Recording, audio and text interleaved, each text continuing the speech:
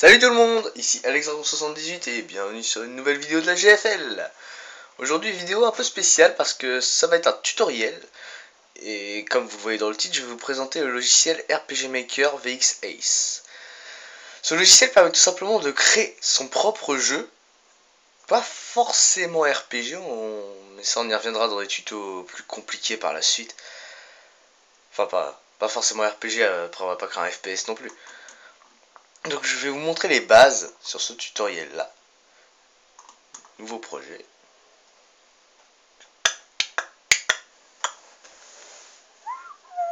Alors ce logiciel là, moi je l'ai eu sur Steam en promotion.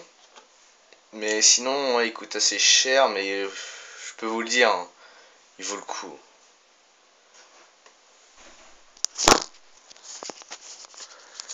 Et voilà. Donc là, j'ai créé un projet euh, complètement en test. Hein. Je sais pas pourquoi je l'ai appelé test YouTube. Alors, quand vous commencez un projet, vous avez ça. Cette map là est obligatoire, mais euh, vous n'êtes pas, obligé de construire dessus. Hein. Pour créer une map, vous allez ici. Clic droit, nouvelle carte. Et là, l'aventure commence. Donc le nom de votre carte, c'est le nom qui s'affichera ici, pour vous repérer. On va mettre euh, première map. Le nom affiché, c'est le nom in-game, qui s'affichera en haut de l'écran quand vous arriverez dans la map. Tout simplement. Tileset. Alors en fait, un tileset, c'est ça. C'est la palette de construction. Donc le terrain, c'est euh, pour les maps monde. Extérieur, c'est en ce qui concerne les villages, euh, comme ça. Intérieur, c'est pour construire des maisons, ou des INN, tout ce que vous voulez. Et les donjons, c'est pour avoir des mines, euh, des grottes. On va choisir extérieur. La largeur, donc 17-13, ça c'est de base, vous pouvez pas faire plus bas. Et vous pouvez faire largement plus haut par contre. Type de défilement, bon ça on en reviendra plus tard. Le fond de combat. Alors quand vous cochez un fond de combat, c'est que vous voulez mettre des combats logiquement. Mais ça on y reviendra plus tard. BGM natif. Alors en fait ça, c'est quand vous voulez choisir une musique de fond pour euh, bah, par exemple euh, tout simplement votre map. Vous avez plein de musiques. Hein pouvez modifier le, volume de la musique, la vitesse pour en faire des, n'importe quoi. C'est vous qui voyez totalement. Vous avez absolument le choix. Bon, on va quand même en mettre un. Euh, Town 2. Ouais. Le BGS. Alors ça, c'est pas une musique de fond, mais c'est un rajout. C'est-à-dire si vous voulez rajouter de la pluie, du vent, euh, des, rajouts de, temps. Désactiver la course, c'est quand vous voulez tout simplement que votre personnage ne puisse pas courir quand il sera dans le jeu. Ça, on y reviendra après. Le panorama défilant, c'est une image qui va faire office de fond dans votre map et qui va défiler comme ça. C'est un décor. C'est pas trop mal. On va mettre ça. Défilement vertical. Défilement à 2. Alors quand vous faire moins, c'est un défilement dans l'autre sens. Voilà, vous avez votre nouvelle map. Donc moi vu que j'ai choisi extérieur, je vais construire un petit village de test. A. Là, vous voyez que vous avez déjà largement beaucoup plus de types de tileset. Vous vous mettez dans carte pour passer en mode édition de carte. Et là, vous avez tout simplement à choisir une matière et vous l'appliquez. C'est aussi simple que ça. Vous pouvez appliquer des chemins. Voilà. C'est très simple, hein, vous voyez, il euh, n'y a pas... C'est ça que j'aime bien avec ce logiciel en fait, c'est qu'on peut le conseiller vraiment à tout le monde, il n'y a pas besoin de codage, tout est déjà fait. faites vraiment ce que vous voulez. Merde. C'est vrai que ça va pas le faire.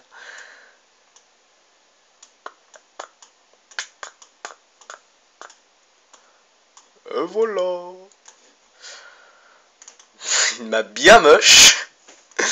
Mais c'est juste pour vous montrer surtout euh, l'éventail de ce qu'on peut faire pour les bases. Je vous ai créé une map bien moche les gars. Oh là là là. Alors en fait, pour vous expliquer euh, la partition des tiles 7, la catégorie A, c'est les matières basiques, c'est-à-dire l'herbe, euh, les montagnes, tout ça. B, c'est les rajouts. Et C, c'est pareil, c'est les rajouts, mais c'est vraiment, euh, vraiment détaillé. Hein. C'est des trucs carrément pas obligés. Hein. Par exemple, des statues. C'est vraiment décoratif. Alors, ce que vous doutez, c'est. ou vous demandez au choix, c'est les tailles 7 par exemple, lorsque je place un arbre, vous devez vous demander que le personnage va le traverser ou des trucs comme ça quand on sera en jeu? Eh bien non. Parce qu'en fait, les collisions sont déjà gérées par le logiciel RPG Maker. Et donc, là, le personnage ne pourra pas traverser l'arbre. Il va se cogner dessus. Et ça, c'est vraiment bien. Parce que on n'a pas besoin de se casser la tête à modifier tout ça. Bon, on peut le modifier manuellement si vous voulez euh, faire des arbres qu'on peut traverser mais je vois pas vraiment l'utilité. Euh, d'ailleurs, je vais vous montrer comment faire. La base de données, alors ça, c'est, je vais tout vous expliquer, vous inquiétez pas. Voilà, c'est les tilesets. Donc euh, c'est là que vous pouvez modifier. Par exemple, là, on peut marcher, mais là, Alors, alors, une fois que vous avez créé votre carte, vous faites événement. Et là, vous passez en mode quadrillage et vous faites un clic droit là où vous voulez. Emplacement de départ, équipe. Et c'est là où vous allez commencer votre jeu. Une fois que vous démarrerez votre jeu en testé, vous commencerez ici. La base de données maintenant. Alors vous voyez, vous avez déjà 10 héros de base, hein, mais vous inquiétez pas de ça. Vous pouvez tout modifier. Par exemple, lui, vous allez l'appeler. Désolé pour le téléphone, je voulais pas te shooter. Euh, Jonas. Son surnom, c'est purement décoratif. Vous le verrez dans, les personnages in-game, mais voilà quoi. La description, en fait, c'est pas une description, c'est la classe du personnage. Niveau initial, c'est le niveau à laquelle vous le rencontrerez in-game. Et euh, niveau maximum, vous pouvez modifier si vous voulez qu'il atteigne que le niveau 50 par exemple. La petite description, ça peut rendre un petit côté sympathique. Et l'apparence. Donc ça c'est l'apparence que le personnage aura quand vous le contrôlerez dans la carte. Qu'est-ce qu'on va contrôler? Pour un héros de test. Ouais, bon. Lui, on le sent bien? Ouais, on le sent bien. Là, c'est la tête qu'il aura dans les dialogues. Donc oui, on le sent bien. Il est gentil, Jonas. L'arme. Petite hache. Comme si ça allait pour un mec comme ça. Les autres, on va pas se faire chier. Définir maximum, c'est le maximum de héros que vous voulez créer. On va mettre 1, comme ça les autres, ils disparaissent. Passons à la classe. Pareil, définir 1. On va pas l'appeler soldat. Sa classe, on va mettre euh, test. Oh non. Voleur la courbe d'expérience, vous en occupez pas pour l'instant. Les courbes de croissance de la classe, alors ça c'est... Vous avez configuration rapide, hein, donc c'est très simple. C'est quand ils montent de niveau, s'ils gagnent plus ou moins de points de vie. A c'est le max, E c'est le minimum. Mais vous voyez, quand vous faites plusieurs fois E, ça change quand même. Ce qui fait en fait une courbe totalement aléatoire pour si vous faites E pour plusieurs personnages. Même si vous faites E, il y en aura certains qui gagneront plus que d'autres. Comme ça, c'est pas un copier-coller. Après, vous pouvez modifier vous-même. Hein. Bon, là, ça va être un héros un peu cheaté. Vous pouvez faire ça pour absolument toutes les caractéristiques. Les compétences, vous pouvez les créer vous-même, mais ça, Je pense que je vous l'expliquerai dans, un, dans le deuxième tuto. Vous les répartissez ici. Les caractéristiques, double-cliquez ici. Et là, vous créez absolument la classe que vous voulez. déjà, vous pouvez supprimer tout ça, hein, mais on va pas le faire. Là, vous pouvez lui mettre une petite résistance au feu, ténèbres, tout ce que vous voulez. Résistance à l'affaiblissement des PV, de l'agilité, résistance au statut immunisé. On se mettre immunisé au statut mort, voilà quoi. Ça peut être marrant, mais ça va un peu gâcher le jeu. Caractéristiques normales. Ça, si vous voulez mettre euh, des plus, pour qu'il ait plus de points de vie d'origine. Caractéristiques additionnelles, c'est pour lui mettre des précisions. Un petit taux d'esquive, par exemple, on lui met 5%. Voilà. Caractéristiques spéciales. Taux de défense, dégâts physiques, dégâts magiques, dommages du sol, gain d'expérience. Vous boostez vraiment votre classe comme vous le voulez. C'est vous qui choisissez absolument tout. L'élément de l'attaque, si vous voulez faire un héros de feu, vous pouvez mettre élément d'attaque feu, c'est-à-dire qu'il tapera toujours feu. Statut de l'attaque, pouvez mettre une chance qu'il fasse mort. Ça peut être sympa, vraiment, pour faire des, héros originaux. Régène PM, euh, immortel, garde immobile, confus, euh, voilà quoi. Tout le bordel. Correction vitesse d'attaque, alors ça j'ai pas vraiment fait attention. Ça dépend de l'agilité de votre personnage en fait ça. Ça va augmenter sa vitesse. Quand il va attaquer en premier. Attaque supplémentaire Vous pouvez très bien faire un héros qui est une véritable merde, mais qui peut taper 10 fois par tour. Voilà, c'est bien. Type de compétences supplémentaires, donc ça c'est si vous voulez rajouter en combat qu'il ait des compétences euh, spéciales ou magiques, et vous pouvez mettre les deux. Désactiver, bon ça c'est... Voilà, pas besoin d'expliquer.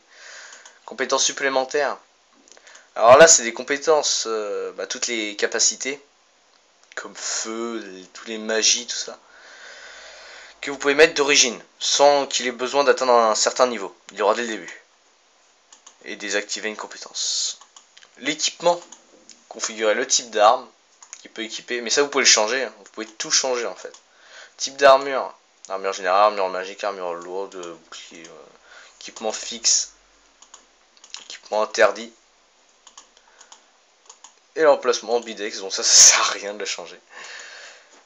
Autre, action supplémentaire, vous pouvez mettre un pourcentage pour que le personnage fasse un deuxième tour. Spécial, bon ça c'est ça fait un combat automatique, soit un garde du corps, il conserve ses points de technique. Parce que en combat vous avez les points de magie, mais dès que vous attaquez au corps à corps, que vous prenez des coups, vous gagnez des points de technique.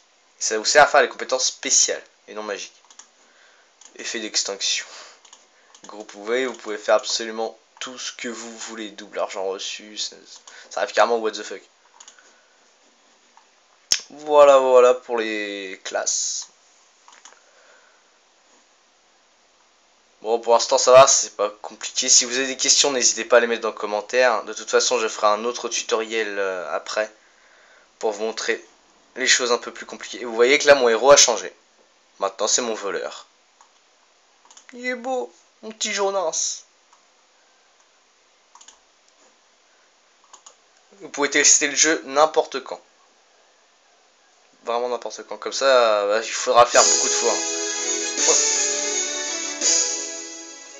Peu de calme. Merci. Nouvelle partie. Et vous voyez que vous commencez ici. Et que mon fond c'est complètement de la merde. Mais bon, c'était un test. Bon là j'ai pas mis de monstre, hein, j'ai rien mis. Hein. Mais vous voyez que là j'ai créé qu'une seule map et si on est vraiment passionné, il vous, si vous prenez votre temps, vous pouvez faire un RPG vraiment digne de ce nom avec ce logiciel. Il n'y a pas besoin de codage, tout, il est accessible à tout le monde. Je le conseille vraiment. Jonas Ouais bien, voilà pour cette vidéo les gens. J'espère qu'elle vous aura plu. Si vous avez aimé, n'hésitez pas à mettre un pouce vert. Si vous avez des questions, n'hésitez pas à les commentaires. Je répondrai à toutes les questions. C'est moi qui m'occupe des, commentaires YouTube et euh, description des vidéos. Et si vous souhaitez nous suivre, abonnez-vous. Allez, salut Et à bientôt pour de nouvelles aventures.